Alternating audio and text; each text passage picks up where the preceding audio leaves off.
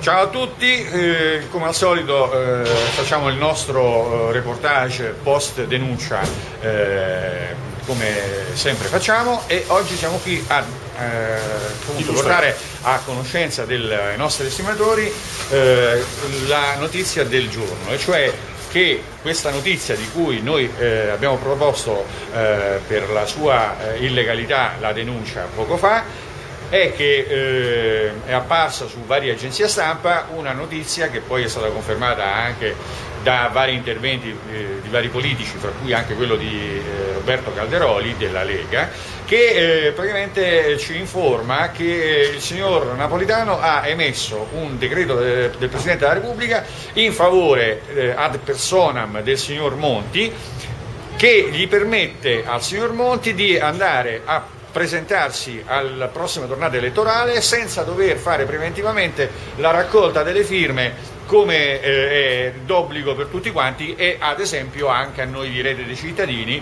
in cui in questi ultimi tempi Alba Mediterranea è confluita.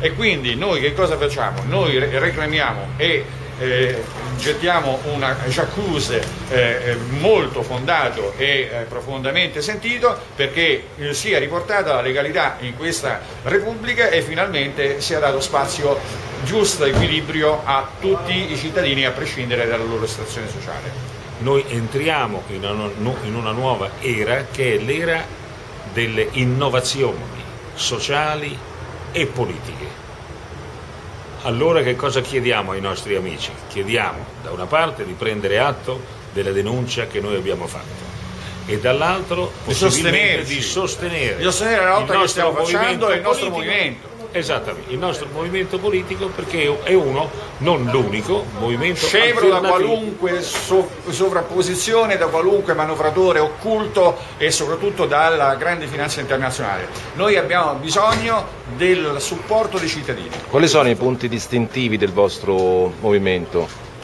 Allora, il programma di rete dei cittadini è eh, complesso e articolato, ma sicuramente innovativo e rivoluzionario.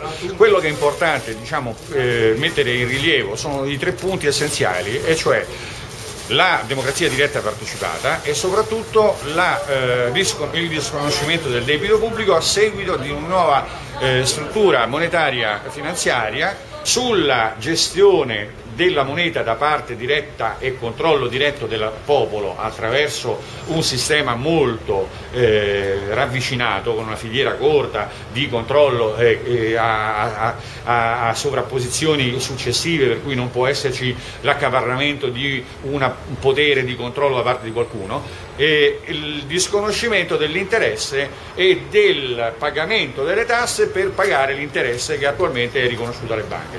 L'altro punto eh, eh, importante che va detto è il discorso sulla democrazia diretta partecipata perché solo su, attraverso questa partecipazione attiva si può mettere in atto anche quel sistema di controllo di cui accennavo prima. Occorre precisare un punto essenziale qui sono decenni, continuano a prendere per il naso i nostri concittadini con la storia del debito pubblico. Ripetiamo, il debito pubblico è un falso, è un debito che in realtà non c'è, è stato inventato. Non siamo qui per spiegare i meccanismi della nascita del debito pubblico perché non è in questa sede che dobbiamo dire queste cose. Tuttavia, Bisogna ricordare che le tasse che i cittadini italiani oggi pagano sono esclusivamente giustificate da questo debito pubblico.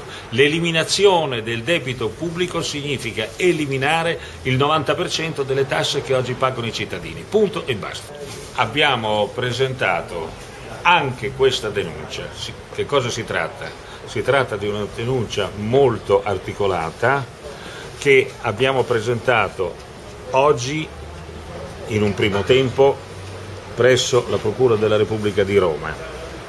Nel giro di una quindicina di giorni la stessa denuncia verrà presentata al Tribunale dell'AIA perché è bene che queste cose si sappiano, esistono delle normative a livello nazionale, a livello europeo ed a livello internazionale che vengono sistematicamente eluse da questo sistema italiano.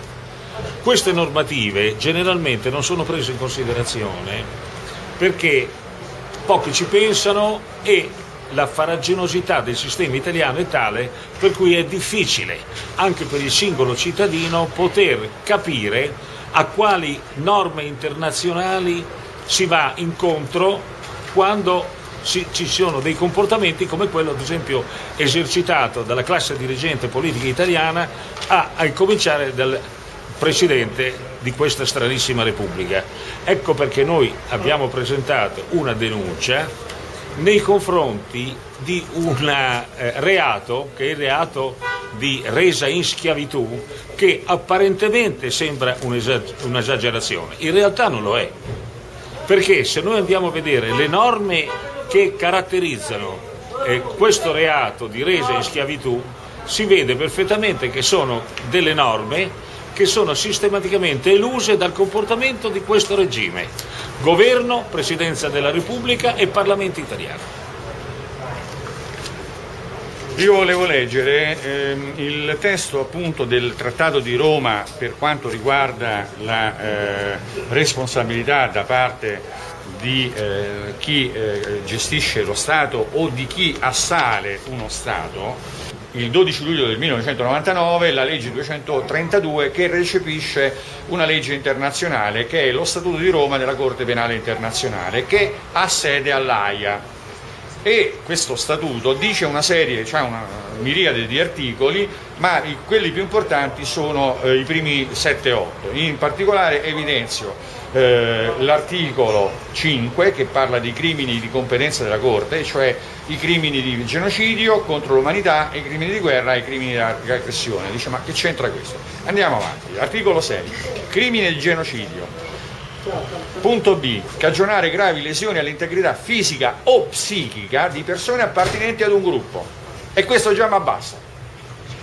C. Sottoporre deliberatamente persone appartenenti al gruppo a condizioni di vita tali da comportare distruzione fisica totale o parziale del gruppo stesso. E quindi i suicidi, per esempio, i 3.500 suicidi dall'inizio dell'anno, 3.500 suicidi di quasi tutti imprenditori.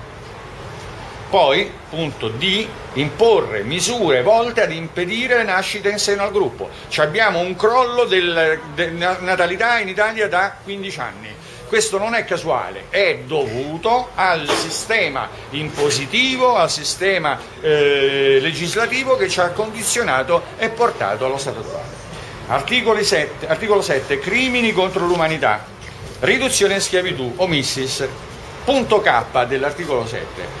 Altri atti inumani di analogo carattere, car- carattere diretti a provocare intenzionalmente grandi sofferenze e gravi danni all'integrità fisica o alla salute fisica e mentale. E qui mi sembra che ci siamo.